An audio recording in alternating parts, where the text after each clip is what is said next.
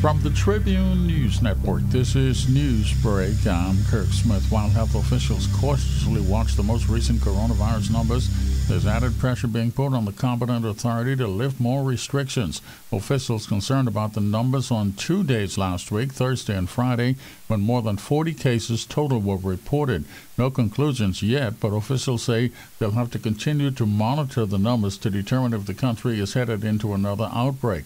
The hospital situation remains manageable 16 persons being treated, two of them in the ICU. One more death confirmed. The total is now 179, more than 1,200 active cases. A number of businesses, including restaurants and theaters, urging the competent authority to further ease restrictions. Exuma MP Chester Cooper pushing for that island to get some restriction relief also. And the Christian Council says it's disappointed by the lack of communication over its request for increased numbers at funerals and weddings. President Bishop Delton Fernander. With the extension of the order, seemingly things remain status quo uh, until the competent authority comes back to us, which is very sad.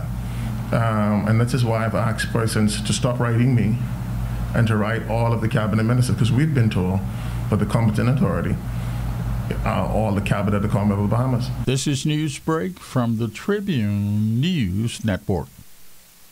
A major corona related travel ban is now in place. All commercial travel with Haiti has been stopped because that country has now ended its carnival season. The ban will last 21 days. Health officials say as of now they have no reports of any of the coronavirus variants in the country, and they want to keep it that way. The U.S. Coast Guard still searching for six persons reported as missing at sea off Florida. They were headed there when their boat capsized, according to a survivor rescued off Fort Pierce. Police have completed their investigations into that February 5th fatal shooting at Harbor Island that left Anthony Petit dead. They've charged 29 year old Clarington Bowleg with his murder. They've also charged 19 year old Kadero Richardson with the February 7th fatal stabbing of a man on 2nd Street, The Grove, here in the capital. Details of the day's top stories in the Tribune newspaper on the streets first thing in the morning. Stay up to date online at Tribune242 com. Now, the Tribune's overnight AccuWeather update brought to you by Bahamas Power and Light BPL. No systems in the area. Partly cloudy tonight. Overnight lows from the low to mid 70s. 72 at Freeport, 75 at the capital, 76 at Matthew Town. No marine advisories overnight. Winds 5 to 10 knots. The sea's 3 feet or less. There's a low tide now. The next tide around 10 tonight.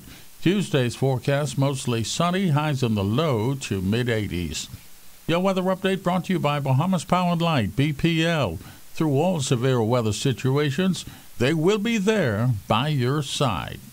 This is Newsbreak from the Tribune News Network.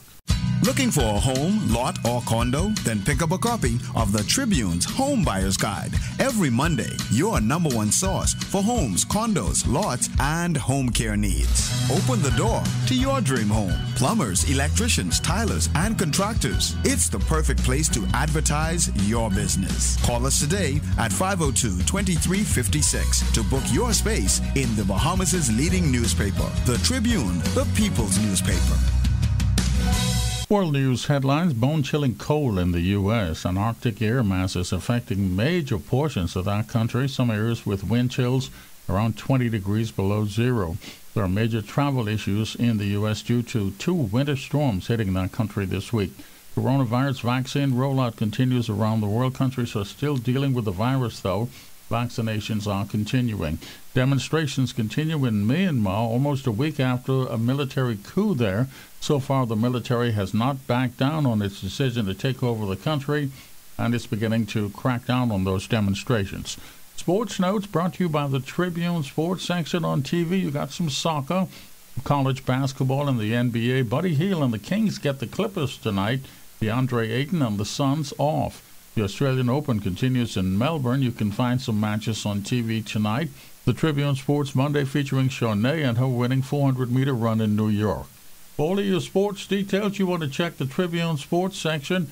Everything you need from the world of sports you'll find in the Tribune Sports. And that's your news break. Details of the day's top stories in the Tribune newspaper on the streets first thing in the morning. Stay up to date online at Tribune242.com. dot com.